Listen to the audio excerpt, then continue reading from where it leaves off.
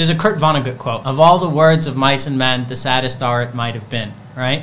People sit there agonizing over what might have been, what could have Yeah. been, if only they'd done something differently, if only they had traveled somewhere else, if only they had left a relationship earlier. I think it was Paul Arden said, and I wrote about this in my book it's better to regret what you've done than what you haven't, Haven't done. Right. If you want your life to change, you need to go and try. And nine times out of ten, maybe you'll fail. But at least when, when the window opens, like, fucking climb through it.